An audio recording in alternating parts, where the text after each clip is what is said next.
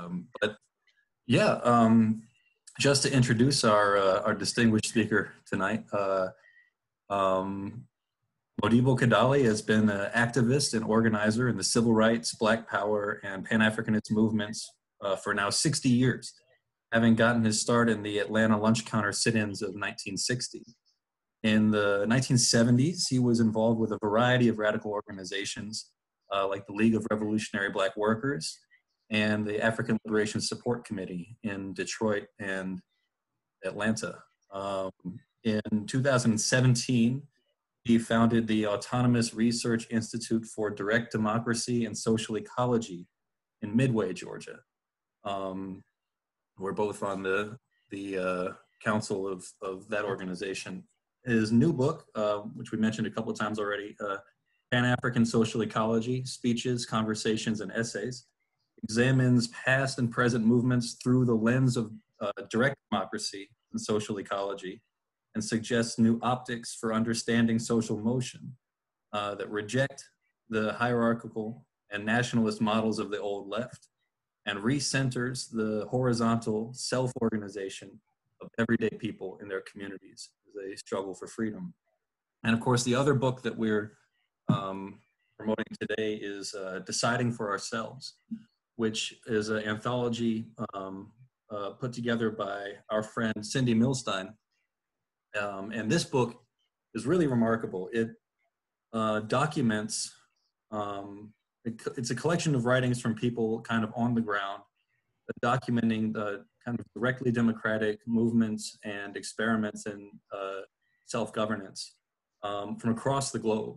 Uh, so there's uh, examples in here, a couple examples from Mexico, uh, from Denmark, Greece, um, and uh, Kurdistan. And so, so, some of these examples y'all might be familiar with, some maybe less so. And I really encourage y'all to pick up uh, uh, both or either of these books, um, either from Firestorm or from uh, uwalbooks.org or akpress.org.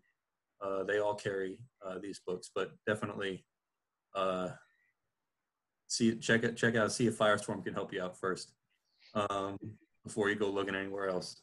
Um, so uh, with that, Mick already explained some of the format for its uh, for tonight. You know, we're gonna, Modibo and I are gonna talk a little bit and present a little bit, and then uh, kind of converse, and then we'll soon open it up to a more open conversation where we are reading your thoughts and your questions, and uh, and then uh, we'll see where the, where that takes us. Um, just to kick it off, uh, Modibo asked me to let's see to prompt him with a question, which we uh, it's a little spontaneous. We have we haven't yeah, yeah, yeah. really rehearsed this, so um, but I.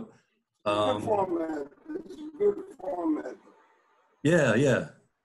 Um, so Modibo, I'm going to uh, start you off with this question I put together uh, earlier today, which was, I think, something that's on all of our minds. Um, the recent pandemic has been called unprecedented moment in history, and in many ways that might be true. However, I'm curious if you see any historical parallels to the present moment based on your own experiences. Moreover, I'm curious what lessons from your lifetime with direct action and mutual aid might be applied during the coronavirus pandemic? Are there specific stories from your lifetime as an organizer and agitator that you might see as relevant to popular self-organization right now? Yeah, okay, that, that's an involved question, but we did stumble on this format, and it's uh, it's a good format because it, it, it's back and forth, back and forth, and that's why that's where I've learned my most uh, my, my most real sharp kinds of conceptualizations from this kind of discussion. And I hope that uh, all of y'all are welcome, and I hope that y'all get into it too, you know, cuss a little bit and tell, you know, just be, get down with it, you know what I mean? But this this pandemic is, is something that we all uh, involved in here, but, but I think we need to say something generally about it before we go any further. Human beings uh, have, have, you know, have, have bodies, other organisms have bodies. And since the Industrial Revolution, the life support system of every living thing on the planet has been, uh, has been uh, really degraded. And so what we see is uh, this new pandemic is a situation where the scientists are trying to put a cap on something that they're not going to be able to control, except in the short run. In the long run, they're going to have to deal with the fact that human beings and other living things on this planet, we all have to live together in a symbiotic relationship in the long run. Now, what the scientists do, and this is what makes it so bad, the scientists come up with a paradigm that we're to have a war on this virus. And we're to have a war on this and a war on that. And what they do is simply try to control it, like it's some kind of invading uh, species. You can see it in Hollywood, you know, these horror movie with invading uh, various kinds of crazy shit that comes from the from the from outer space, and they invade your body and they invade you. You know, they, they just fuck your shit up. You know what I mean? But that's not what's that's really not what's happening. What is happening is that a new paradigm has to be developed where people, scientists even, have to understand that uh, the human body and the other bodies and other living things are trying desperately to deal with all this pollution and all this uh, uh, environmental degradation that's happened, especially accelerated over the past couple of hundred years with the Industrial Revolution. Now, if you look at all the diseases, and I, you know, when I was coming up, uh, kids were suffering with infantile paralysis, called polio. And I had lost a couple of aunts before I even was born to typhoid. Uh, Native Americans suffered from uh, uh smallpox and all kind of other things. I myself had asthma. And I mean, I, I understand what it means to be desperately gasping for air trying to breathe in a situation where the, where, where the uh, air is not breathable. So what, what, what is happening now is this virus is um, vilified and they want to have a war on it. And, and, and we have to be careful because uh, the people who run these nation states and these big corporations, they think that science has made such an, a, a, a great leap forward in this last 200 years. Yeah, it has done that. There's been all kind of scientific and technological advances, but in what direction did it did it go? I mean, you know, it went into a situation where people are, are buying and selling things. These people are not really interested in controlling this disease, this, this, this, uh, well, they're interested in controlling it, but they're interested in making money.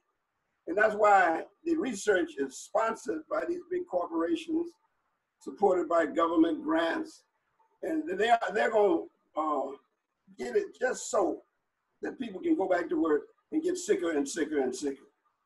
There are going to be more and more viruses coming into play the state is going to use that or try to use that to uh, clamp down on people's freedoms and people's uh, rights, and people the people going to respond. And uh, science has to be understood as having a certain direction. If the science is designed to make money and computer programs are designed to make money, these guys like Bill Gates and all these guys, to me, they're just creeps. They're not they're not no big geniuses or nothing like that. They're just creeps. That's all. They just they just figuring out a way to make more money using these little machines and shit. And, uh, and I, I, I, I mean, I, I've been to school. You know, I see what they're saying, but science has to be reoriented in a direction where human beings learn to live in a symbiotic uh, situation with the rest of the natural world. They have to do that. So I, I just want to answer that directly. Now, what we have to do is what we're doing here now. It's really great to see y'all on my screen. Uh, y'all, y'all some nice looking people, you know what I mean? and uh, we are able to communicate in this way and share knowledge using, and I'm sure that these people didn't design for it to be used this way, but they, they, they, uh, we have to use the technology that's available to us. just like the Vietnamese had to use the technology that's available to them. But the point is, we have to uh, understand that uh, direct democracy, and this is a, a, form of direct democracy, is everywhere. And the human impulse for direct democracy is a driving force. Uh, representative democracy and big states and big government, big centralized authorities, all that shit is really inhuman. And, and if you look at the arc of history, you find that it, it hadn't been around that long. Human beings have been human beings interacting for over 200,000 years. The only stuff that's documented is the states, you know, and the hierarchical societies. And that's not what human beings are and have been. Human beings work together. That's a, that's a kind of a natural tendency. I mean, if they wasn't working together, we wouldn't be here two, for 200,000 years. The natural instinct of human beings are to cooperate and to work together, not the competitive, avaricious uh, stuff that you see on the NFL or, or whatever they create to compete, to pit people against one another. And we have to fight that kind of stuff. You know, we have to get, we have to not just get along, we have to love one another. And a, a new kind of science has to emerge. And, uh, you know, we, will we'll, we'll do what we can to awaken everybody to understand that little, that little bit of it. That's a big question. you started with a big old ass question here. I like to hear what other people have to say. But uh, Modibo, I was curious though, like on the question of, you know, in previous talks and in our conversations, we have talked a lot about mutual aid and forms of democracy that emerge in times of crisis and how these things seem to kind of organically emerge. And um, I know one example uh, you've shared before has been in the Detroit Rebellion uh, in that 67 or 68? Uh, 67. 67. It was again in 68. Martin Luther King was assassinated in 68, but the yeah. first one was in 67. Would you would you mind uh, sharing for folks uh, your remembrances of, of the 67 rebellion and the, the networks of, of mutual aid that uh, emerged there? Oh yeah, you can see it. You can see it in in, uh, in, the, in uh, New Orleans too, and you can see oh, it down, yeah. down in Brunswick, Georgia. You can see it everywhere, but mm-hmm. but we're not we're not trained to see it. You know what I mean? Yeah. So in my situation, I was in Canada, and uh, I was uh, you know the war was going on, and I was a drafted beta, and I really tried to get back in, but they had closed off the borders, and I couldn't get back in until the, uh, the rebellion subsided. So they opened up the, uh, the bridge and the tunnel, and I had a cousin that lived off 12th Street. 12th Street is now uh, Rosa Parks Boulevard. He lived on Sturtevant Street to those who know uh, Detroit. and uh, there was a Safeway. Safeway was like the Kroger of the time there was a Safeway on the corner there. And my, my cousin said to me, I said, what happened, Sam? He said, man, the niggas went crazy around here, man. They were stealing shit and, and, doing, I said, were they stealing? He said, yeah, they took, they took all the food out of the Kroger. I said, what are they doing with it? Well, uh, they were giving it to these uh, old ladies down on the other end of the block. I said, well, well that's not, that don't seem like stealing to me. And he said, I said, did they, who, who are these guys that did this? He said, these same little old boys, you know. They push the carts around. They, they. I said, well, how long did it take them to, to take the food out of the uh, store? He said, man, they, they, they looted that store within two hours. I said, you kidding me? They organized themselves in such a way that they could take the food out of the store and give it to them ladies in two hours? He said, yeah, man, they did that, man. They were working like, they were working hard. so, uh, so I said, Sam, did they give you anything? he said, yeah, what kind of steaks you want?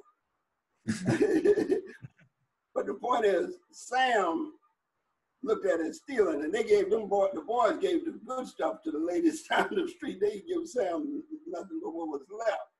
But they organized themselves to do that. You know what I mean? It's self-organized. No, no uh, tie, no Negro with a briefcase came down and told them they need to be organized, and they did that. Uh, you saw it in, in, uh, in, Katrina, but I want to bring another one to your attention.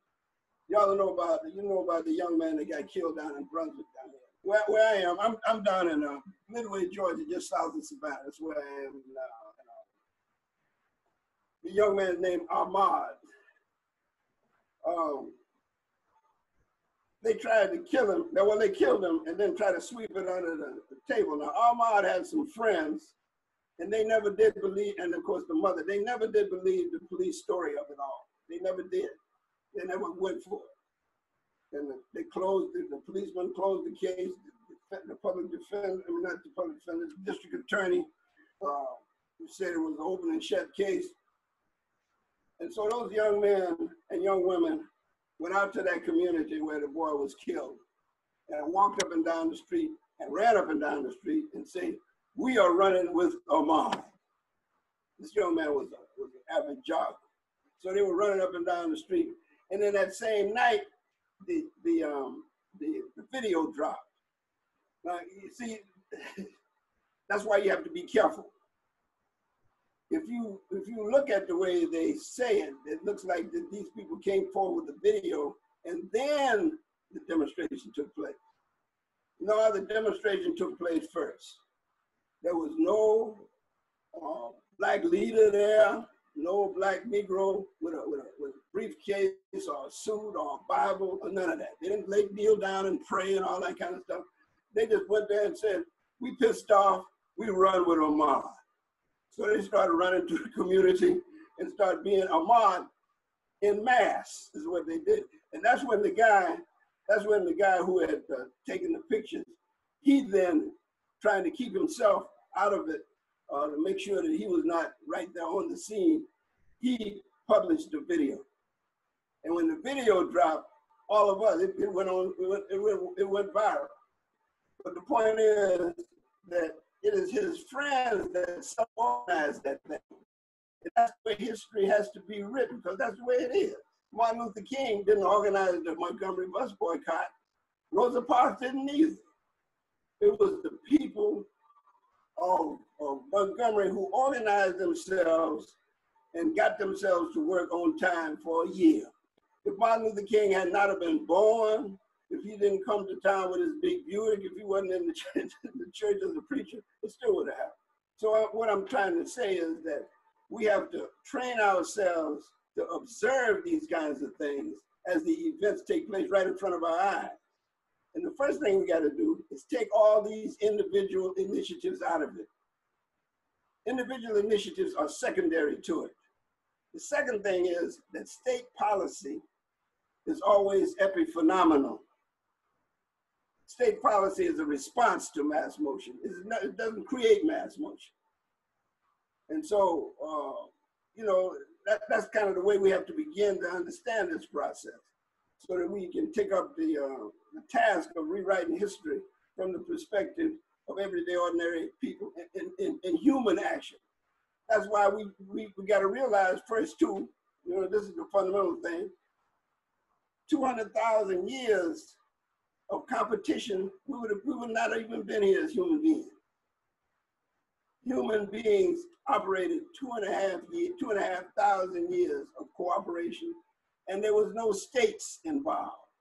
States emerged, uh, and they, all of the history of the states are recorded, and they are called, they're, they're, they're called cultures and civilizations and all that shit. But but but the collective organization of people, large groups of people uh, that's not that's that that's that's that's really one fraction of the history that's written, but is the great majority of the history that, that took place. I'm yep. talking. I'm talking. No, no, it's good. No, that's good. I mean, that's a, that's a point that I think a lot of people like when when we talk about direct democracy and we talk about you know um, vision of, of popular self-governance that really excludes the state. People always assume the state as being this like eternal thing that's always been with us and that we're talking about some kind of like radical shift away from what they believe human nature is. And I think that uh, it's important to distinguish that for the majority of human history, uh, majority vast, vast majority the states have, have not been around. I'm sure I'm sure that will bring up some more questions uh, for some folks, but it's uh, and then people say, oh well, you know, that was a long time ago. It's different way of life, and and we didn't didn't have X, Y, and Z, and this, and uh, but and so you know these, you know, direct democracy might not be possible now because of these different factors. But I think that's why Cindy's book, uh, deciding for ourselves, has been so important uh, because it really shows the continuing drive that people have to govern their own lives and uh, and get out from under the heel of all sorts of various oppressive uh, hierarchies that that we're kind of forced to deal with on the daily basis. Um, they think they think states are required organization. If people working together and create things themselves and collectively in motion, they're unorganized. You know what I mean? You remember we were talking uh, some time ago, and you were talking about what was happening in the Dark Ages in Europe. You know what I was yeah. saying? Oh yeah. And, yeah. in the Dark Ages, that shit was happening. That was oh yeah, yeah, yeah. yeah. But that, that, but that was where Europe, human Europe, was was really taking taking place. And the, and the dark yeah. continent, you know, nothing happening over there. But the point is, human beings. I mean, human beings have learned to cooperate and work together and create institutions. Mm. But but the, our problem is that the scholarship and the activism right. is not documenting that. They don't know how to do it because they trained to do otherwise. You know. Yeah, no, I mean, yeah, it's like you said, the uh, it, it is about a way of seeing, and and and we're we're quite trained to look at history through a very kind of top-down hierarchical lens. I mean, the example of the the so-called dark ages is yeah. my favorites because i mean people you know people in the so-called dark ages you had you know autonomy autonomous cities throughout europe uh, where people were practicing all sorts of uh, interesting experiment not even experiments these were long-standing institutions of democracy where people you know, could collectively in their communities decide what needed to get done and how to do it and implement it. Um, and and throughout these uh, medieval communes, this was just how shit was done. And um, and um, even among the peasantry at the time, you had a, a very good quality of life compared to a lot of what came after. And uh, you know, then you have the Renaissance, which is, and the and the the so-called Enlightenment, which is portrayed as like this great kind of awakening, beautiful moment, but which is defined and instigated by some of the most massive state violence that we've ever heard of. You know, uh, in particular, the, um, the witch hunts, where, which was this massive uh, uh, uh state violence against um, peasant women who were practicing medicine. By the way, in the so-called Dark Ages, medicine for the majority of people was a part of the community and it was free. And you know, this, this it was largely pe- peasant women who were, you know, basically not only developing medical science, but uh, but recording it and passing it down. And it took a massive state, violent state intervention to uh, destroy that tradition in Europe. And that was the beginning of the so-called renaissance and the so-called enlightenment and, and, and all this kind of stuff. So it really shows you how twisted one's uh twisted and, and then the thing that bothers me so much is they, they look at that as being unscientific. I mean when, when right. people, and then you're, you're against technology when people have learned to, to create stuff and do, do things for themselves yeah and yeah it's amazing and, and, and, then we must really write the history of the Industrial Revolution. That's a very violent process. It's a very ugly process. Of the, the, the, I mean, Henry Ford and all them people, man, no, they were not heroes. They were they were villains. They were poisoning the atmosphere and putting people to work on assembly lines and breaking their backs and breaking their health. And these people are not geniuses. They're not nothing. They can kiss my ass, tell you the truth. but uh Hey, on, on related to um, Ahmaud Arbery's murder, I was wondering um, since one one aspect of this whole thing that rarely gets talked about is the context of this being a, a Gullah Geechee community. Oh yeah, oh yeah, that's, that's um, important. That's important. I, I think it is important. And I think that, you know, may, perhaps there might be some people on the call who might not be familiar with the, the historical context there. And I was, I was wondering if you could tell some folks briefly about, uh, just give a basic rundown of Gullah Geechee history and, and, and why, what distinguishes that culture. Um, And, and, and it's not it's not anything unique. Like anytime there's spontaneous social motion, people move forward. But in order to, because what what is critical about the social motion is, is that it's really not spontaneous. But what is critical about it is that it uh, it breaks down the legitimacy of the state. The state has no authority, no legitimacy of nothing. The policemen come there and people will look up the barrel of a policeman's gun and throw it away. And they don't, they don't give a fuck about no policeman. That's a part of spontaneous upheaval. But in the process, they always reach back to their collective mm-hmm. uh, uh, culture some kind of way. And uh, this, this boy, Ahmaud, is in Brunswick, and his grandfather uh, was raised on an island off the coast of McIntosh County. Mm, which island? Uh, uh, Sapelo.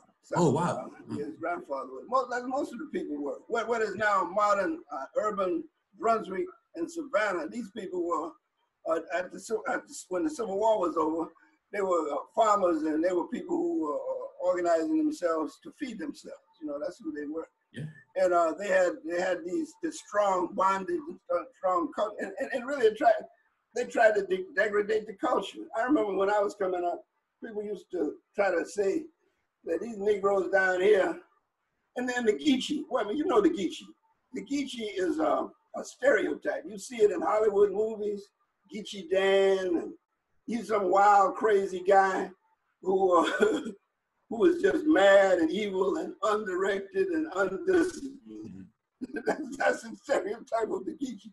But the Geechee is, a, is, is the culture of the people who were raised on these these rice plantations down here, and who had some autonomy. And then when the white people abandoned the plantations and they came back and tried to take them, they wouldn't let them go. So they maintained control over land. And you have, if you came, if you come down here in the 1940s, you see black communities all over the place, independent. Sometimes people didn't even see no white people, you know, for years.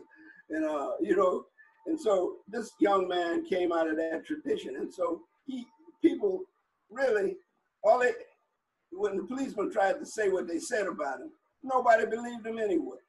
Mm. Nobody, nobody. They had no uh, legitimacy or authority at all. And so when those people went over there to this community, by the way, this community that he was jogging through was a community called uh, Satilla Shores, which was uh, a white community, predominantly white community. But it was across the road, across 17 or 17 from a, a black community. So he just crossed over and he was running through the, through the area. But these people were people who came from the north, and some of them came from uh, other places. You know, they were uh, they were a particular type of racists that were part of the United States of North America. But this this this this Gullah Geechee thing down here is really strong, and it uh it uh it has a collectivity and it speaks to a certain amount of cooperation that everybody knows about. You know, and they, it, uh, I grew up with it, so my, you know my parents came down here. I mean, when they came down here, they were young people, they just got married. I wasn't even born. So my my my siblings and I were born down here, so we grew up as Geechees. You know? And it's been very helpful. Keep me keep, keep me out of a lot of shit because I know some of that stuff ain't even real. wait, wait, who was keeping you out of what shit? The culture. Okay, okay. The culture. See, I never, I never was susceptible to the fact that black people were ignorant and dumb and never mm. had nothing. Because when I grew up, they had something. They were not ignorant. They were not dumb. And to the extent, and they actually voted. They couldn't run for office, but that that part of that struggle from the Reconstruction period, they could vote. And I didn't know what all uh, my mother and father voted. All the people I knew voted up and down the coast. They voted, but it was uh, it was uh, situation where during the Civil War, these people took the plantations that belonged to the white people. And made it their own. I think And that of course, the white people tried to take it back. right. But you have to read that history, you know, and figure it out yourself. Yeah, So when, Um, you, see, when you see a Geechee, when you see a Geechee now, y'all, y'all supposed to be respectful.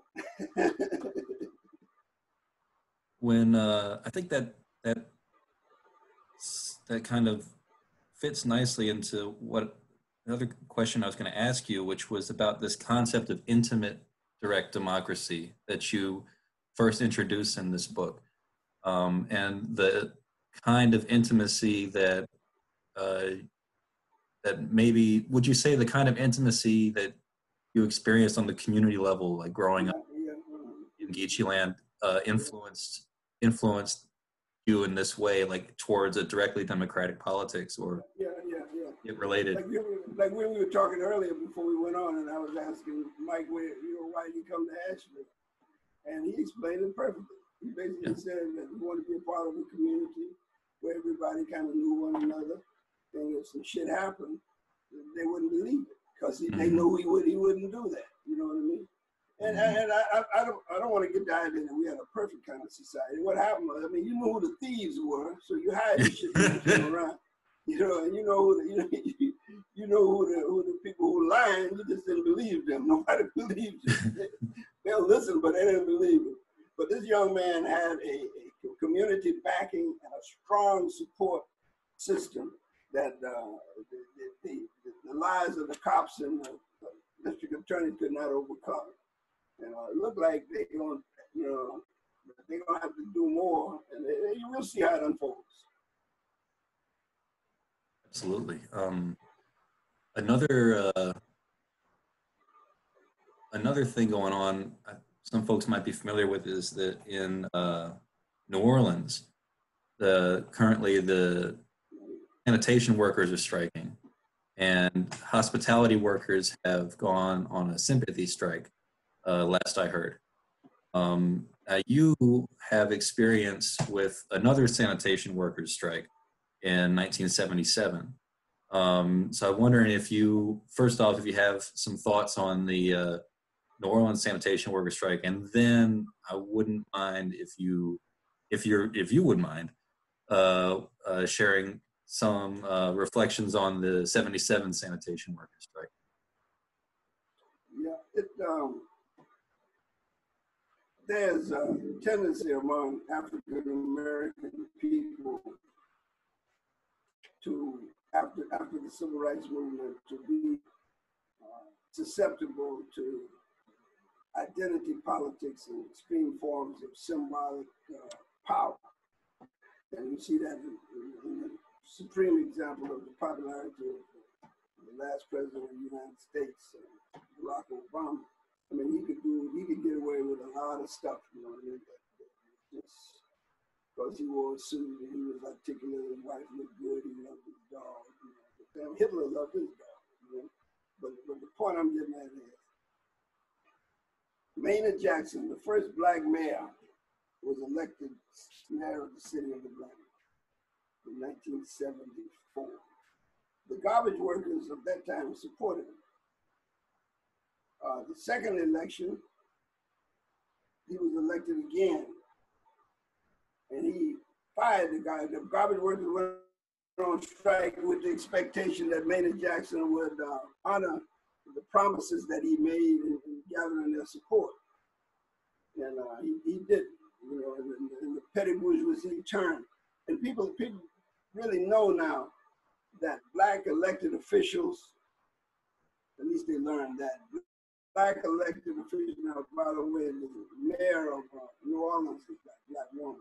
Black elected officials and the black, some people call it the black official class or the black uh, political class. I, I don't, I don't call them that. I just call them the petty bourgeoisie. These people uh, supported Maynard Jackson in firing the garbage workers and uh, made them reapply for the jobs that they, they, they, they formerly worked for. They were just asking for a wage increase and they were asking for some respect. And what happened was in the city of Atlanta, the workers were isolated. The people were believing what Maynard Jackson was saying, I mean, the media was asking Maynard Jackson, what is the position of the garbage workers, which, is, which was absurd. And uh, Dr. Martin Luther King's father, Daddy King, he said, fire the hell out of it. And people couldn't believe that. They, they figured that these people would just turn, you know, and they're just making a mistake and all. So what we did in order to just bring some attention to it, because the workers were being isolated every day through the media and through Maynard Jackson and his city administration. So Maynard Jackson, the garbage was piling up in the streets. So uh, we decided that we had better do something dramatic, do some kind of direct action, very dramatic action. So what we did is basically collected garbage. We had about two or three vans. I was driving one, my, my big old van. And we collected garbage from the street because Maynard Jackson had said, bring your garbage to a central location and we will pick it up for you. So what we did is took the garbage to the city hall. We dumped a couple of, about, about three tons of garbage on City Hall, which was the central location. You know, we, and so you have to intervene like that sometime. Now, in this situation down, this situation, in this situation down, down, in, down in, uh, down in, uh, in New Orleans, you know, Andrew, they um, they re, they fired the workers and they replaced them with uh, with prison labor. Yeah. yeah. Mm-hmm. Now that that that uh, and it's a black woman, and so so this this particular company, since they privatized the collection, see, we, those city workers work for the city of, of Atlanta when we were, when we were uh, supporting the garbage workers. But what she says is that we, I can't do anything. I've got a contract with this garbage collection people, and I don't want to do anything. I'm saving the city some money because we've got this contract with these people. And uh, I, just hope that people see through that and uh, understand that uh, whether the, the, state is run by black or white bureaucrats, whether it's run by uh, Chinese, uh, whatever bureaucrat, once you have a capitalist state apparatus, uh, a state apparatus in your way, it don't matter what color it is, don't matter what gender it is. and you can't, it's not a question of electing the right people the right people will not do it for you. I'd rather, I want to see some of these people. These people are looking, they, I know how to be in an audience and, and not have nothing to say. So, so I, would like to hear what they got to say. I mean, come on, let's let's get some questions. Yeah, if um if anybody wants to, you know, put forward uh, some questions, just jump dump them right there in the chat. Um, if you haven't used Zoom before, if you go to the bottom of the screen, there's an icon that says chat with a little word bubble next to it and that should bring up the chat window to your right. And you can type some questions there and I'll make some comments or comments or or, uh, what have you. Um, while we're waiting on that, uh, Modibo, I'll just ask you one other quick thing. Now, the other bit of sad news that emerged from uh, Georgia recently was the passing of uh, the architect of rock and roll, Little Richard. you and I, we, the two of us, we often talk about music. Well, we a lot about music, but um, I was wondering if you might share with the the group uh, some of your reflections on Little Richard, because I never lived in a time before Little Richard, you know, and I, I don't know. I, I, would, I'd like, I'd, I think it'd be cool to share like what I don't know. Well, well what, what I would urge you, to, I would, what I would urge all of us to do make sure that we take care of ourselves so that we can become the history historians that we can be just by living a long life. I'm, I'm 78 now, I, I can jump up and I can jump up on this on this desk right here. I, mean, I need to lose a few pounds. I used to play that music, Little Richard stuff. You know, I, I know Boney Maroney, Long Tall Sally, you know, but but but the point about this is when Little Richard busted on the scene, Macon, Georgia is a, uh, it's in the middle of Georgia, but it's, a, it's really, those people are my mother and father's people. They're not, they're not Geechees, but they came out of the sharecropping cotton field and they accumulated in Macon. And so Little Richard was uh, the son of a preacher and he could play the piano. He was a trained piano person. And because the uh, the mores of the time was that uh, you know you, you, didn't you, you, stayed out of you, you made sure that if you were gay, you kind of stayed and put one foot in the closet and one foot out. So Little Richard was the pianist of the church, and and the music the musician of my group played the same way that Little Richard did. That's the kind of music we played. Blah, blah, blah, bam, boom, tutti frutti. Okay. Now, this was an authentic, organic music. It, uh, it, um, it, it, it was a, a music that became known to me, at least, as rhythm and blues. Now, blues came directly off the farm because it was an agonizing kind of music. It came directly from the Mississippi Delta and out of the cotton field. But when it got to the city, it, it was more upbeat. It had a rhythm to it. Now, since the South was segregated, and really, if you look at it, was central Georgia and really the central central Georgia and central Alabama and central Mississippi, they're, they're really the same places. Really. They, uh, they, had, they were based on a cotton economy. They were segregated. They were a lot of lynching going on, a lot of segregation going on. And, and, and what, what people would do, what Little Richard and James Brown and, well, well, that's before the white guys got it. they used to travel and play, you know, to rural audiences, to uh, juke joints. And so a, a, a, a, a black working class cultural set of network of centers, cultural centers emerged. And they, they were called, and they were organized, self-organized. They were called juke joints. The white working class out in uh, Texas and those places, they organized something similar. They call them honky tonks. you know?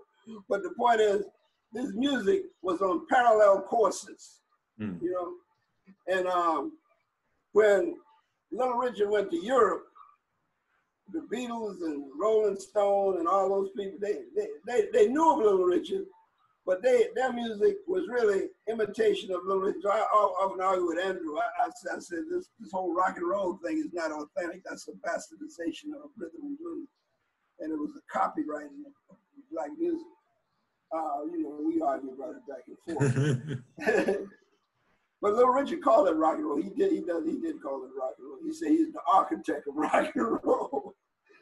but this music was uh, giving cultural uh, momentum to, to a movement of people that were becoming urbanized. And then when uh, the, the, bastardization took place with this rock and roll and the Beatles and everybody and the white people started getting into it, they went back in the church and emerged again as soul. so they had two colors. They had two colors. Mm-hmm. But uh, but but the point is that this music and the culture always speaks to um, what what the people really are. And even like the, the reggae stuff out of Jamaica, that's that was some organic cultural stuff. It wasn't it wasn't an attempt to, uh, to, to imitate white music or anything. It was it was it came from what they call the roots. So there's an authenticity, and, and and even the style of it. You know what I mean? Everybody had a say in it. The guitar player had a say. The drummer had a say. The vocalist had a say. And Little Richard would jump up on top of the piano. You know, he had to say. You know, and then when jazz came about, jazz is more more secular, but it, it doesn't have any. It's, it's, instrumental music. I call that like classical instrumental music. Uh, but it, it's, it's very directly democratic. It's all directly democratic. Every, everybody talks to everybody in there. You know? mm. So the music, I mean, you can the musical structure indicates direct, and even the folk music. The folk music was uh, of all of the people, whether it's Irish, Scottish, Zulu, or whatever. It was a collectivity of people uh, celebrating what they needed to celebrate to bring their their culture together. It's a cultural, cohesive kind of thing. And stuff is quite beautiful too, really. And sometimes you wonder why it gets to you. That's because you're human. That's why it gets to you. You're human. That's why. I want to see what uh, uh, uh, Alfonso Williams got to say. You writing something down, Alfonso? I see it. Yeah, let me. I, I can uh, unmute Alfonso. Alfonso, I'm you want to ask your question? Unmute. Yeah, just a second. Uh, all right, You're unmuted, Alfonso. You can go ahead.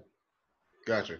Yeah, I was just wondering uh, uh, your thoughts on in a in a situation like right now with COVID going on, and uh, the onus of responsibility being passed around to different people. In general, if we had to generalize, who is more um, responsible for uh, keeping things in general order? So general housekeeping. So would that responsibility fall more on uh, the government side because they have more access to certain resources because they're an institution, or um, does that fall more on the constituent side, um, which contains all the different particularities um, and all the different, uh, I guess, secular resources that the government may not have access to because it's too big? Well, uh, uh, Alfonso, Yes. we all think in terms of the big central government taking care of us. And even the Black Power movement, they always want the government, they think, want the government to live up to the true meaning of its creed and its responsibility. The central government ain't gonna do shit. It ain't gonna do nothing. What's gonna happen is the people at the local level will have to figure out ways at their local health departments and everything how to test people. And, you know, they can do some stuff, but they're gonna have to organize that themselves. Like in Riceboro and Midway, the, the citizens have organized these uh, testing sites. Uh, the health department called the health department to come in. Now, the central government didn't have nothing to do with that. Gotcha. That's why I don't even look for the central government doing anything but make wars. They make wars and spend a lot of money and cause a lot of shit, but uh, they don't solve. They don't probably solve it. Like like in Montgomery, Alabama, the, the, the people the people took matters into their own hands. Like down in um down in Brunswick, uh, the kids took that took that into their own hands, and that's how you that's how you have to do it. And then when people take the initiative and you think it's good and local, you go out there and help them out. You know what I mean? But I've seen a lot of stuff. I've seen people feed all of the elderly people. I'm elderly, but nobody seems to want to come and bring me no food. but there are some people who go to elderly people's houses and take them food. Matter of fact, I would go if I had the time, but it seems like it's covered my system and they all do that. Somebody shut. But but but you, you're gonna have to be responsible for yourself, the way you eat, the way you take care of yourself, the way you get some rest, and uh, you know all that smoking and drinking and staying out all night. Uh, guys my age, uh, they can't walk. That those are the guys that did that. They can't hardly walk. You know. but but uh, we, we can't look for this. You talk about even the old Marxists, you know, they talk about seizing state power and, and running the government. Well, if they seize state power and run the government, you better look out. It's gonna be gonna be some shit then.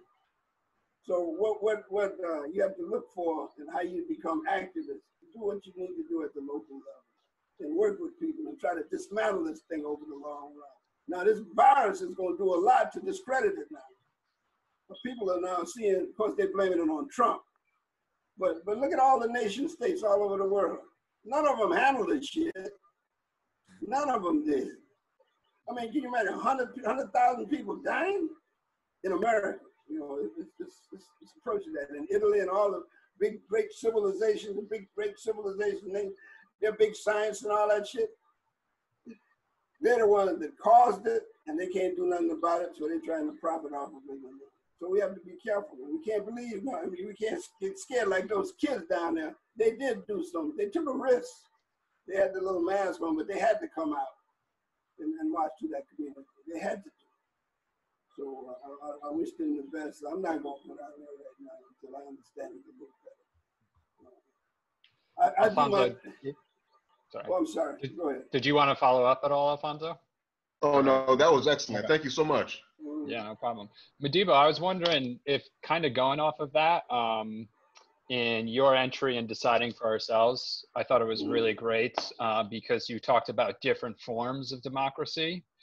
Uh, so I was wondering if you could talk about the distinctions between representative democracy, participatory democracy, and direct democracy, and why it is that you advocate and support for direct democracy and not the other two, the other two forms. Okay, participatory democracy is uh, sometimes uh, masqueraded as uh, direct democracy. Direct democracy is not when the, the, people have decided to group together and, and ask the government to do something. They, and the government say, well, we're going to get you a seat at the table and we'll listen to your voices. No. Direct democracy is when the people govern. They make the decision and carry the shit out. They do the whole shebang. Now it's hard, but we, we got a long way to go to get there.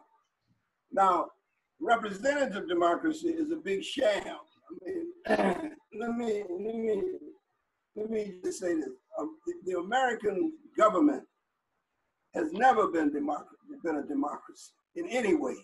And when they when they when they masqueraded around like there's some kind of big great democracy, anytime you vote for somebody, and then they go somewhere else to make a decision for you, that means you don't have no vote.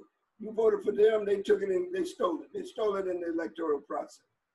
Now, let's look at it on his face. It's on his face. In the United States of North America, there are roughly, well, give or take 10, 10 million, about 350 million people now, citizens. In, in Washington, the people who make laws, what about 329? And now if you subtract the uh, representatives from Washington, Virgin Islands, Guam, who don't vote, it's about 335, 336, something like that.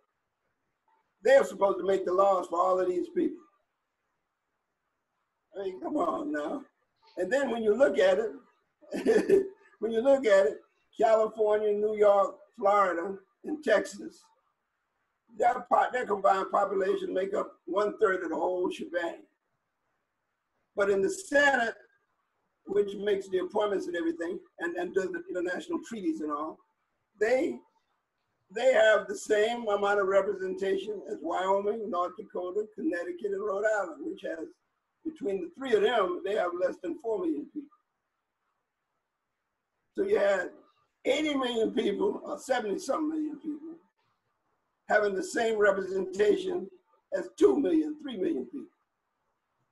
So that's represented now. Now, the thing about representative democracy sometimes when it gets confused is when you have a, a, a, communist party or a socialist party which came over and they're ruling the government, right? And so they set up a people's a, a people's democratic uh, Congress, and they have more people in there. But the point is, that is an instrument of representative democracy. You can call it socialism, you can call it anything you want to.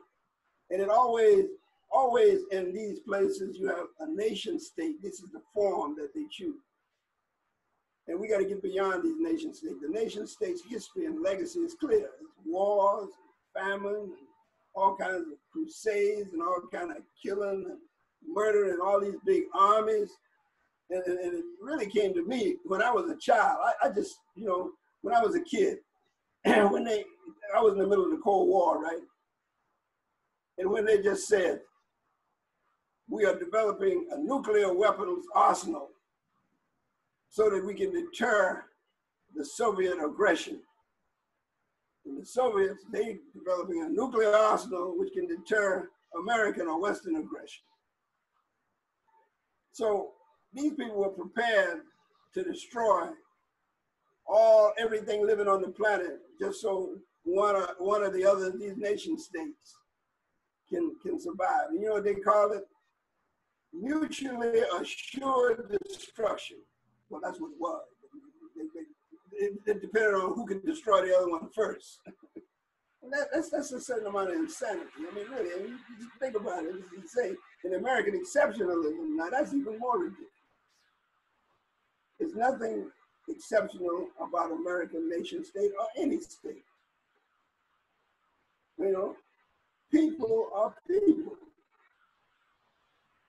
because I'm American, that means that I can do certain things that other people do. No. Of course, of course, if you don't understand democracy in the United States, you ain't gonna understand it in the world. You know? so I guess I, I, wouldn't, I wouldn't expect them to even in the room to discuss that.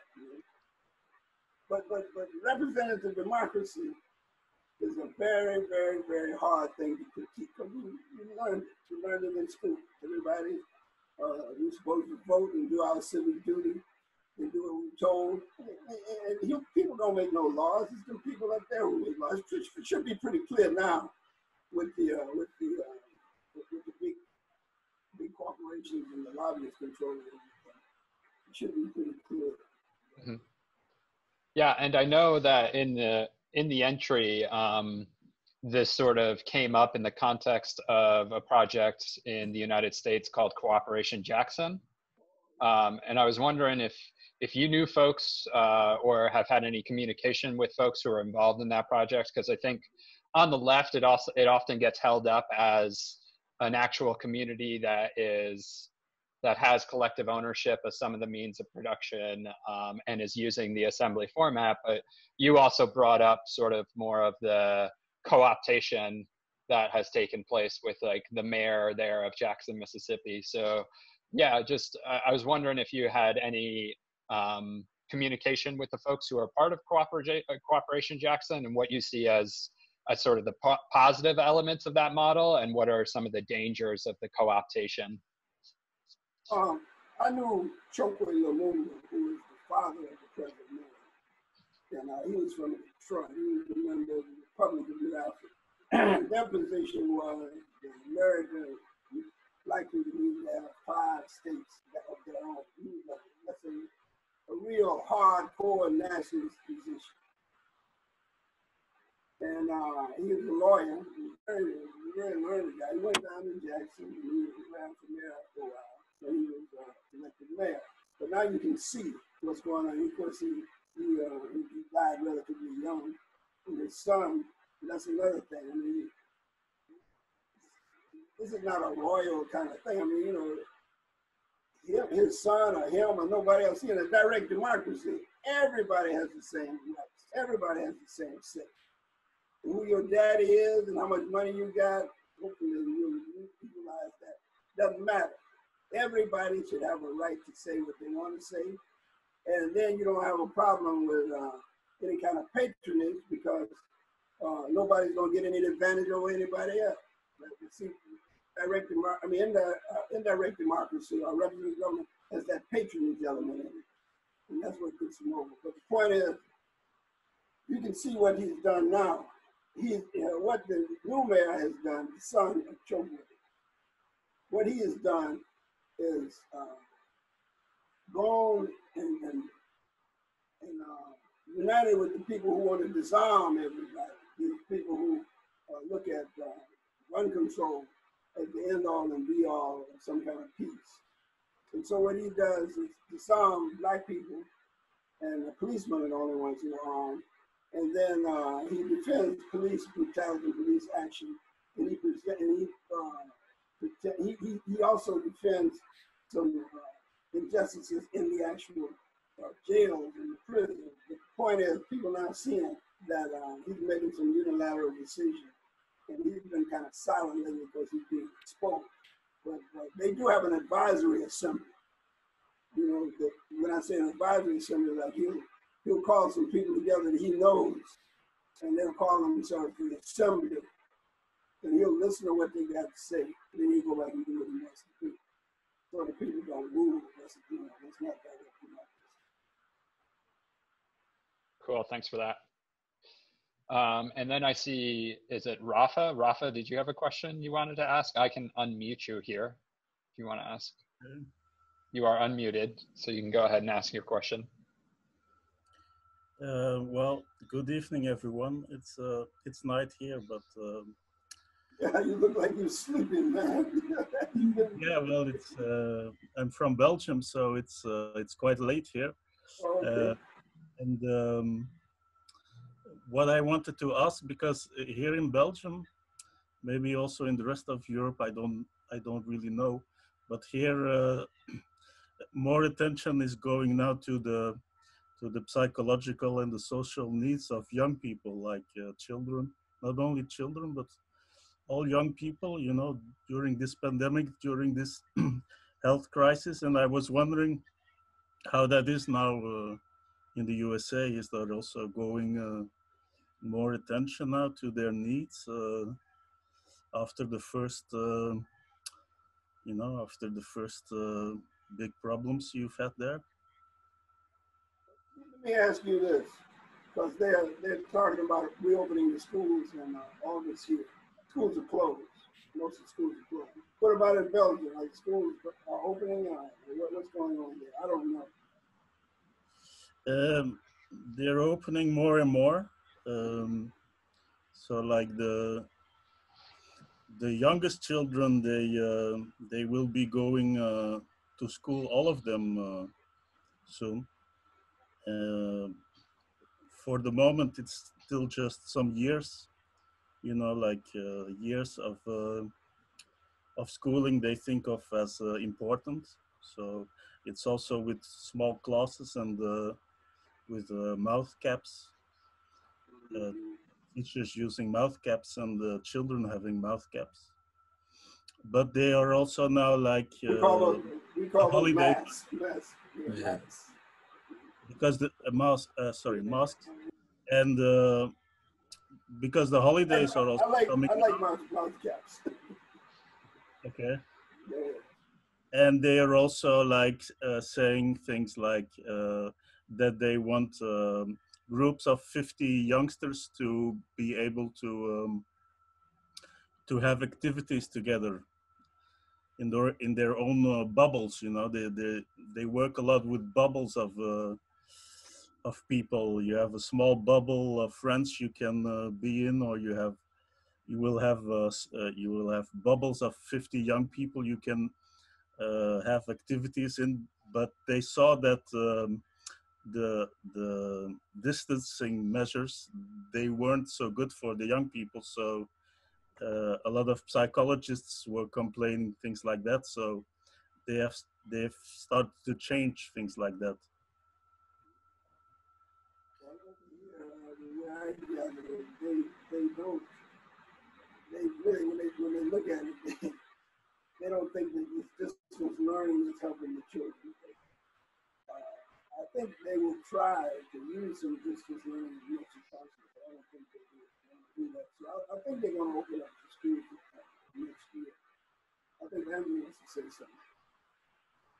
Yeah, I mean, just uh, I have a 14 year old daughter, and uh, just in my experience as a parent going through this whole thing, uh, it's I think that there hasn't really been much attention paid to the uh, uh, for lack I, I don't I don't know the right vocabulary necessarily, but the the psychological impact on on children. Uh, it's you know kids really need to be among their peers, especially you know um, when they get into the preteen and teenage years. It's a it's a huge part of their identity, um, and it's I think really difficult for them to navigate.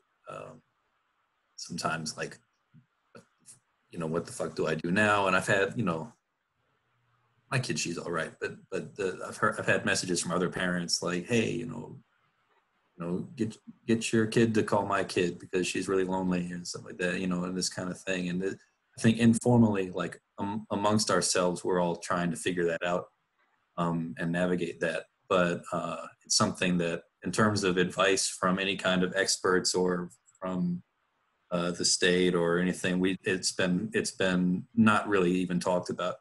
Um, even from the school, you know, like the school, they were just mostly concerned with like I don't even know what the fuck they're concerned. They're concerned getting these lessons done and getting you know and like like making themselves seem like they matter. You know, the, the and the teachers, you know, but like the actual, you know, well-being of the child emotionally, they don't really care. They just they want the kid to turn in the thing so they can say they taught the kid the thing they're supposed to teach the kid. And like that's that's pretty much the limit of their of their give a fuck. But um, so yeah, I don't know. It's a really good question, Rafa. I'm glad you I'm glad that you brought it up. Uh, and it's something that you know, to Modibo's point, I think it we end up figuring it out for ourselves first and then you know maybe later on we'll hear from some experts or from the government or for from whoever like oh you know this is going on and so here's some advice on how you can do that but all of that whatever policy or advice comes will be based upon the work that we do informally in our own communities you know just as ordinary people trying to get by you know. Um yeah. And i think that also that that being said the uh there was a good article recently I read, and I don't remember where, but it was kind of talking about the sort of abstinence only approach that has been going on with the social distancing, how it might not be sustainable. Um, and I think that to young people, that might especially be the case. Um, that they're, you know, it, it, rather than forcing them to stay away from their peers, we might be better advised. And I'm criticizing myself on this. We might we might be better advised to teach them how to interact socially safely, mm. you know, um, and that's that's something that I think has not always been at the forefront of, of our minds. I know, I know the networks of parents that are teaching their, children. I know the network of about five parents they're teaching each other's children. And, uh, and they're testing, I mean, they're, they're testing for the, symptoms and everything. They test themselves. You know. And that's, that's, I mean, I, I would like to be in, in y'all's presence, you know. I mean, it's good to see you, especially you, Ralph, and you from way over there. Uh, but, you know, I, I really think this is a good format, but sooner or later, we just gonna have to get together and, and, and touch and look at one another and, mm-hmm. in, in, one another's presence. Now, on the, on this bookstore thing, I see some things happening there. Uh, like uh, like the independent bookstores are challenged now, and I think that we all need to develop some kind of delivery mechanism or some kind of uh, drive-by, drive-through or something that uh, you can get the inventory. You know, people need to know what books you got, and then they can come by and get the books, and you can get them the window or do some things. But uh, yeah, you know, it's and it's not really rocket science. It's not. It's just a matter of people figuring out how this thing can be contained among uh, uh, an intimate circle of people and uh, and take care of yourself. Like I, I wouldn't feel. Uh, I mean, I know I know Andrew, so I, he can come in my house, but I'm not going to let some other people in my house. you know, until I know you. So maybe maybe that's just uh, that's just might be a good thing, might be a bad thing. So mm. I think the distancing understanding the virus and understanding that this is not going to be the last virus. You know, 19, these viruses are jumping species left and right. So, uh, we, we, we, we're going to have to be as scientific as we can and read what these people are saying so we'll know how to cap our face and shut our mouth, you know, and, and, just be protect ourselves. I mean, it, it, look at look at this one. You remember when uh, syphilis was going around and gonorrhea was going around? We just put the cap somewhere else. all right, all right. but there was a cap. You know what I mean? If you know where the transmission. When I was in South Africa, now let me tell you that the AIDS, AIDS thing. And I was under my van, I'm in my truck, trying to fix my truck with a friend of mine. And he cut himself. and He bled all over me. So I, had blood all over my arm. So I knew that that's where it was transmitted through the arm, you know, through the, through the blood. So uh, I had to go to the doctor. I, I went to the doctor, and got myself checked. The point is, you got to know how this thing works, what animal, it's jumping, and what's what the research shows. And uh, the American doctors are behind on this. The Australian doctors and the Chinese doctors are, are way out in front of this.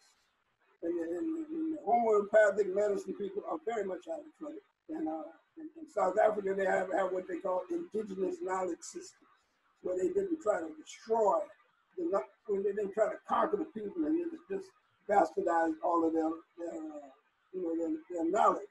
People learn uh, and, and, and, and, collect their, their knowledge in such a way that their uh, children and the whole society can access it, whether it's orally, whether it's through law or whatever, it's, it's collected there. And when colonization took place, an enormous amount of Hmm. human knowledge was lost all over the world, was lost.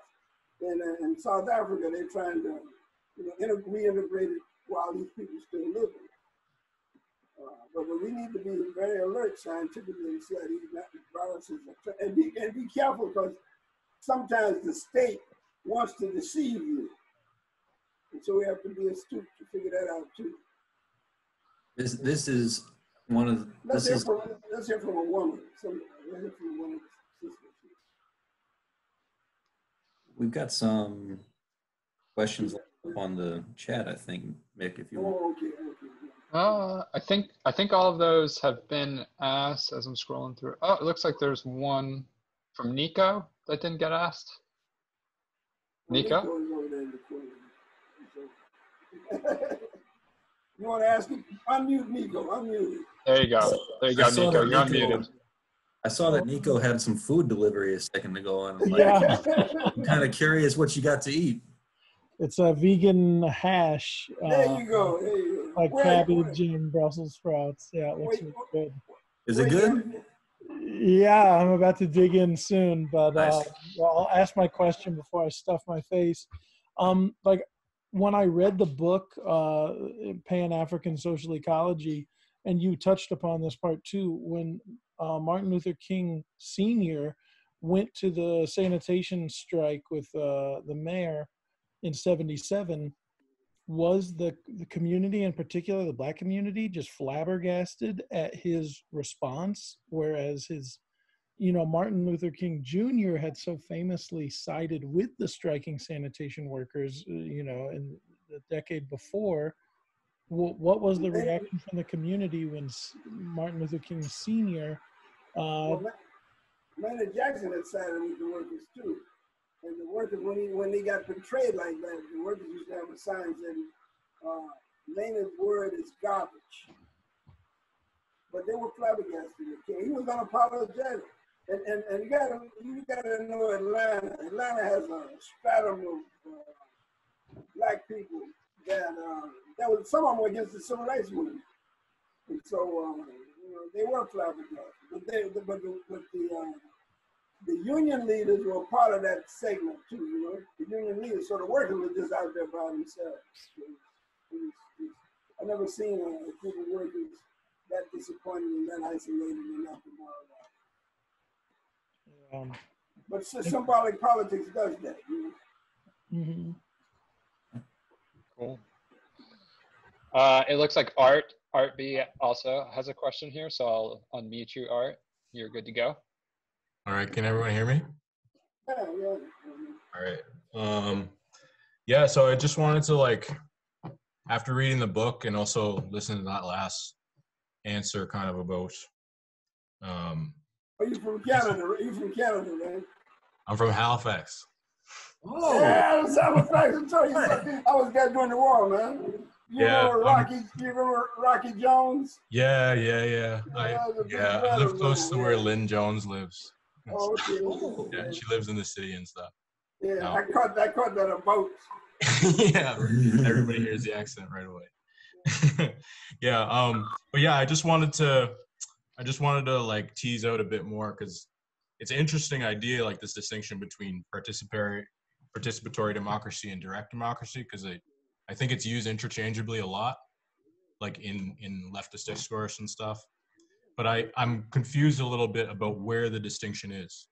So um, if I'm thinking about like social, the social ecology part of like the book, um, and the way it, you try to synthesize it with like this internationalist kind of um, Pan Africanism, which I think is really compelling. Um, I'm thinking back, thinking back to Murray Bookchin and like people who sort of coined the term social ecology. Uh, the s- the suggestion that he makes about how to get there seems to be through participatory democracy Direct democracy. direct Yeah. democracy. like like through like libertarian municipalism as he calls it or coins it so i wonder like and with with cooperation jackson or with even like rojava which is like the more famous example right now i, I was wondering like what is the, really the distinction because i i could even see people interpreting like classical examples like the cnt and their their various forms of like delegation kind of representation as participatory and not direct right so yeah i just wonder where that line is Yeah, well, that's a hell of a question there, bro. So what I want to do, what I want to do is, is appear to diverge, but I think you need to understand it because I think you're there. Um, when you talk about colonialism, there's classical colonialism. That's where the uh, imperialist power sends their own administrative apparatus to govern a different region across the way away from them. That's classical, uh, classical colonialism. Neo-colonialism is um, uh, where the uh, indigenous people, where the indigenous people elect their own representative institutions of democracy, like Kwame Nkrumah and them and all that. They were, the, they were, they were called the Pan-Africanists. Now, I would call them the classical Pan-Africanism because they were they, they saw state power participatory, not not not participatory, but uh, di- uh, indirect democracy, or uh, you know, the Representative. representative or Republican type democracy. That's who they were. We passed there now. Neo Pan Africanism is a grassroots, uh, direct democratic thing that, that, that I'm trying to popularize. Now, the, the problem we had is a historical problem. Murray Bookchin and uh, C.L.R. James were developing ideas that were meaningful, but they never did cross paths. For some reason, I didn't even see a footnote that any of them used or, of each other's writings and stuff. Yeah. But it's clear, it's clear to me that Pan Africanism and, uh, and, and- which is direct, the, the, the, the, the neo Pan Africanism is direct democracy, and social ecology, they, they, they have to work together. You can't have social ecology, an integration of human society with the rest of the natural world. What, what Bookchin brings to the table is he says that um, uh, that human society is natural. You know, it's not unnatural. And so, if you if you go if, if human society is natural, then we have to figure out a way to uh, work with the rest of the natural world as human beings, not as conquerors, not as uh, guardians, not as uh, resource users or exploitators, but as symbiotically. Now, to me, that's where direct democracy come in. But you got to have a human scale of it. You can't have. I think Bookchin is uh, vague on this part, but you got to have. You can't have a, a, a direct democracy in, in New York City and for it to still be New York. Right. Or you can't have direct democracy in uh, the United States of North America for it to be United States. You know, and so people say, well, where does it exist? And that's why this book is so important. It exists in Rojava. It exists around you. you, you sometimes they exist in places that's unrecorded, but we, because we can't see it, that don't mean it doesn't exist. Mm-hmm. Neutrons, protons, and stuff exist. If you too dumb or not skilled enough to see it or don't have the technology to understand it, that don't mean it don't exist. So the line is drawn where you have direct democracy. That's people deciding directly what they're going to do. No intervening layer, no mediation at all. You know, just, just them deciding directly what they want to do. And that's hard for people to understand. But, but I mean, people do it all the time, you know, at different scales. So we have to figure it out. What's your last name, Bob? Uh, Bauman. It's uh, yeah, it's a Dutch name. My dad, my parents are immigrants, so I don't have the Oh, okay, oh, Afro, okay. African Canadian roots. Like, You, you live in African Nova You, you live in Nova Scotia now? yeah, yeah, I grew up here. I grew up here. Oh, okay, well, then, Yeah. man, I come up there Yeah. y'all, you know, I used We, live- I we were talking about getting up there before all this. Yeah, yeah, Yeah, it'd be sweet if you guys could come up here, actually. yeah, yeah, man. You know, I used to live right off Gottingen Street. Yeah, I'm right down. I'm right down from the Citadel. Like that's. Oh, yeah, live I went up on the hill. Yeah. If you read the book, there's a picture of me on the Citadel on the hill. Yeah. yeah. That's wild. Yeah. That's wild. Well, let's hear Um, some more. What about, about Ariel? What about Ariel? Some more What's that? women. Uh, Want to hear some? You, you want to ask a follow-up question? I, I Oh, wanted um, to just. Oh, sorry. Go ahead. No, sorry. You first, please, Andrew. Oh no, I was just going to say that m- Modibo, maybe in a minute, also related to Art's point, you could talk about state creep, which I think. Oh yeah, yeah, yeah. Artist, artist, artist. That's a hell of a question I need to ask. Yeah. But no, please go ahead, Ariel. I'm sorry. Oh, um, I don't really have a question. I haven't read your book yet. I'm sorry. Um, I'm just uh, here to learn. Um, I'm new to social ecology. I'm new to leftism, actually. Um, uh, I'm just I'm just here to learn. Really, I love I love social ecology. Um, I I recently read yeah. The Ecology of Freedom, and my life changed. Oh, yeah. I'm Oh, I'm like yeah. really into social ecology now. So. No, Bush can, Bookchin, Bush can never explain Africa. that, You know, that was his limitation. You know, didn't do Africa. Did the leftist movement in the United States and Europe. yeah i'm, I'm new to i i, I uh, grew up with really republican parents and um, all of that so I, this is a, a big transition for me and um, I'm, I'm loving it it's awesome where, where are you now? i live in dayton ohio Oh, okay. You know, that's the, that's the scope of this. You know what I mean? People from all over can come in and leave. it happens. Yeah. Well, wel- welcome, Ariel. Thank, thank you sorry i didn't have a question i'm so sorry Well, make sure you read both books. yes i will i will And also, um, there was another comment that somebody posted to Modibo. Um, uh, Ursula posted that uh, she loves the concept of directly democratic music. Um, Yeah, yeah, it is. Jazz. um, when you were talking about jazz, yeah, and jazz as part of the democratic process. Um, I used to play that music. I used to just, I mean, I had a good time too. And everybody expressed themselves and nobody was left out. Then everybody, it starts, the, the structure of it, it has structure. You start off with a theme, which sets the contour of it all. And then everybody goes on to this variation, and then you come back with the theme.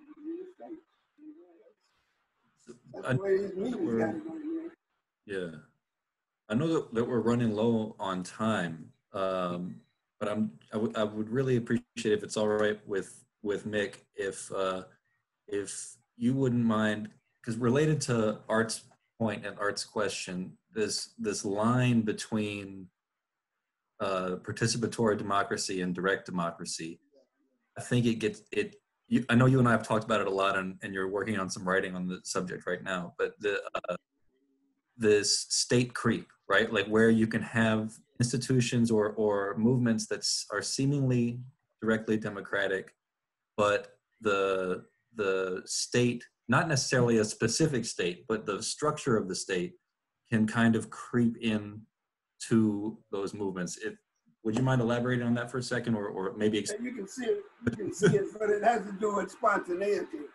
Like, um, state creep is a concept that I developed because I never was convinced with the Leninist concept of, I never was convinced of the Leninist concept of the withering away of the state.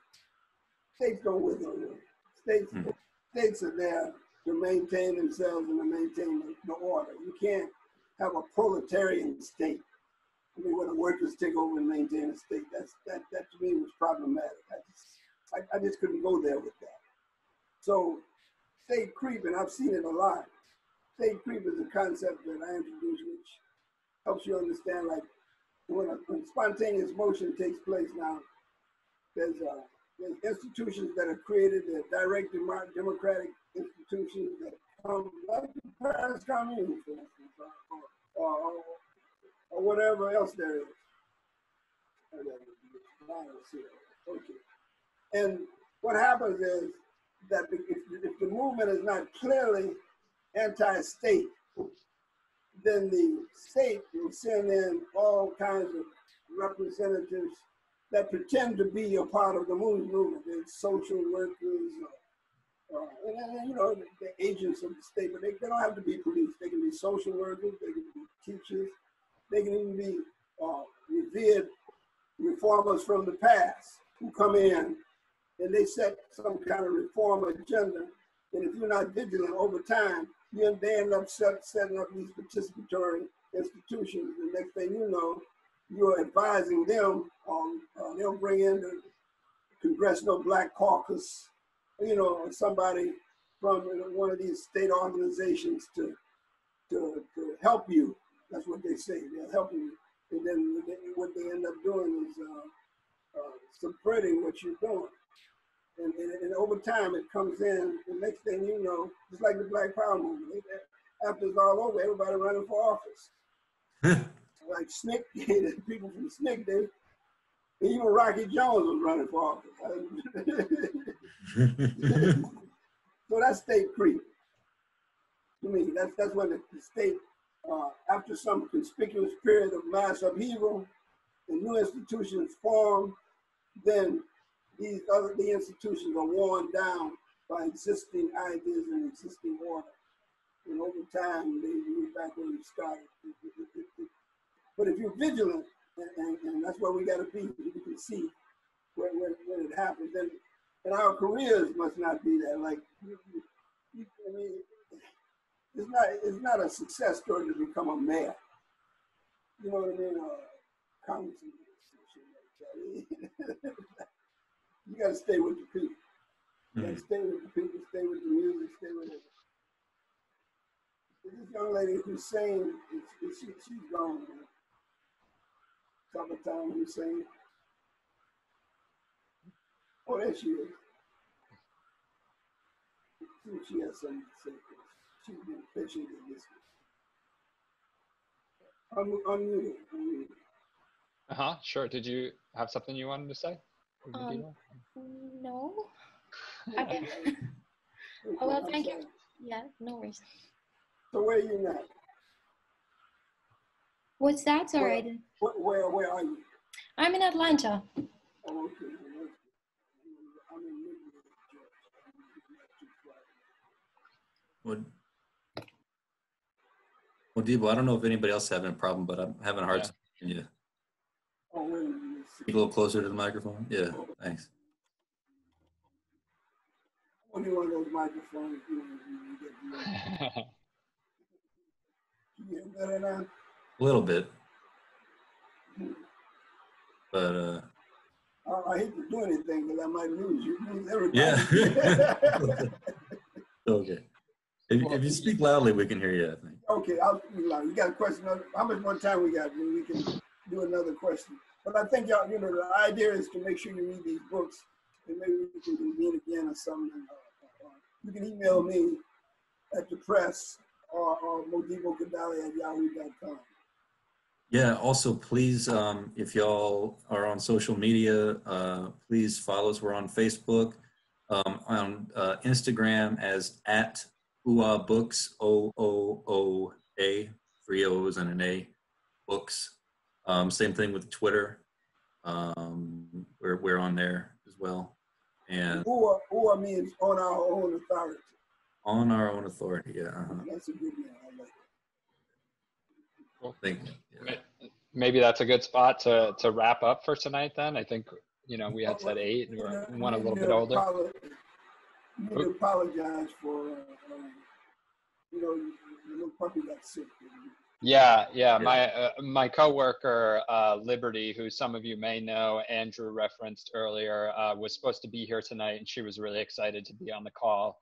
Um, she's a long-term member here at the Firestorm Collective, uh, and unfortunately, her uh, her little pup, who is sort of like our storefront dog, Julius, uh, is having some serious health issues. So there was sort of like an emergency surgery tonight that needed to be taken care of. Um, so Liberty had to run before we were able to start the event. Uh, but they were really excited to be here uh, and hear from Modibo and Andrew. Um, Let me say something, Mike, before we. sure thing. Go for it. Uh, I enjoyed, I enjoyed um, my, my visit up there last time, and we had a big crowd of diverse people in, in that same bookstore there. There was Mhm. mob, it was mob. I enjoyed the feedback and just the camaraderie. It was just a wonderful thing to behold. You know, I'm be a part of. Great. Thanks, Modibo. Yeah, and like you said earlier, so we are actually uh, shipping books. Oh, Um, so Firestorm, uh, you can go to our website, which is just www.firestorm.coop. I also, in the chat feature here, I dropped in a link for both Pan African Social Ecology, which was Modibo's book that came out last year, um, and Deciding for Ourselves, which is an anthology uh, that explores the promise of direct democracy and um, projects that contemporary projects that exist in the world right now um, of which one is Modibo's uh, take on intimate dir- direct democracy. Um, so both those links are in the chat, and um, we're shipping all over the country right now uh, for just a dollar, um, just a dollar for shipping. Uh, so if if uh, folks want to learn more about what you heard tonight in this discussion, uh, there's lots of really good information in both of those books, and I'd highly suggest them. Um, and really want to thank you all for coming out tonight. Uh, I think it was nice, even though this is a little strange to have a virtual event. Um, I think we did, we were able to have a little bit of a discussion there. Uh, and I know that's the style that Modibo uh, really encourages, and you know I appreciate it as well. So it was great to hear from folks tonight. And to both Andrew and Modibo, thanks so much for coming out and having this discussion and including us in it with you. Um, yep. Thanks so much for else? having us, and and thank you Thanks to a lot, everybody. everybody. Kid. Y'all take care. Yeah. And thank All right. all the people who came internationally, especially. Thank you so much. Absolutely. Thanks, y'all. Have a good night.